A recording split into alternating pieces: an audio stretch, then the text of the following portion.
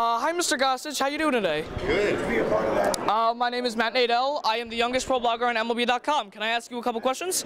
Go ahead. Okay, so I know your actual name is Richard. How did you get the nickname Goose? Uh, my first year in the, in the big leagues uh, was 1972, and I made it out of A-ball, and uh, from Appleton, Wisconsin, and here I am in the big leagues, and I uh, made the club out of spring training in 72, be invited to spring training as a non-roster player, and uh, when I made the club, uh, Tom Bradley, a right-handed pitcher, had a few years in the big leagues, uh, was a single guy. He said, I have an extra bedroom in Chicago.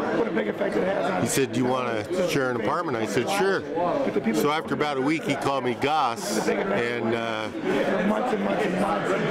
after about a week, he said, I don't like Goss. He said, you know what, you look like a goose. I went, whatever. And uh, so it stuck. And it was how I took my sign.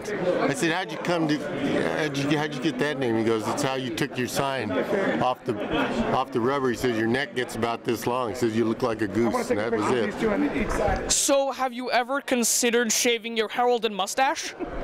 You know, I haven't. Um, you know, I, I, I grew it actually to, everybody thinks I grew it to, to be more intimidating. I grew it because we couldn't grow one past the corner of our mouth. And I'm the first one to ever get away with that one with Mr. Steinbrenner. So, uh, but uh, I guess that's why I grew up because I, we couldn't.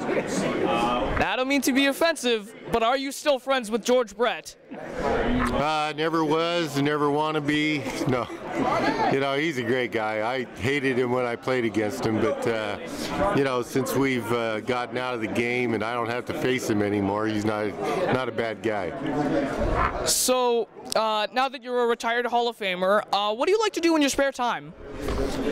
Uh, I do a lot of golfing. You know, golfing's really all I, you know, we have left to really be competitive at. And um, I live up in Colorado. I do a lot of hunting in the winter and fly fishing and play golf in the uh, summertime. So uh, it's a great place.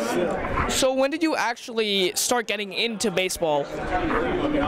Oh, I started playing. Uh, I tried out for a team when I was like seven or eight years old, and they said you're going to be our pitcher. So, you know, the rest is history.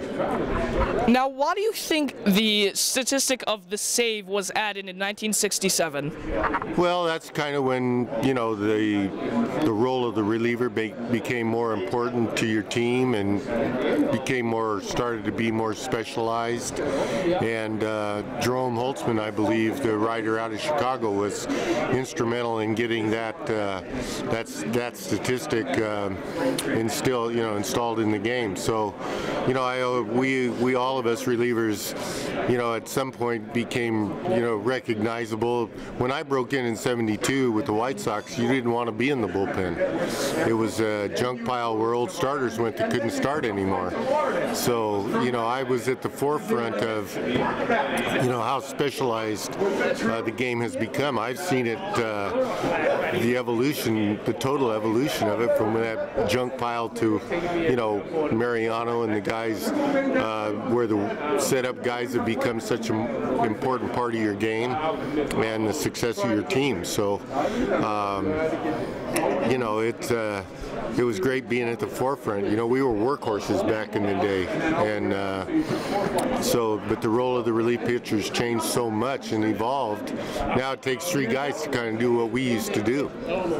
But uh, you know, starters don't have to finish what they started, and that was the difference in that mindset back then, even with starting pitching. All right, well, thanks for speaking with me today, Goose. It was really fun meeting you, and uh, good luck.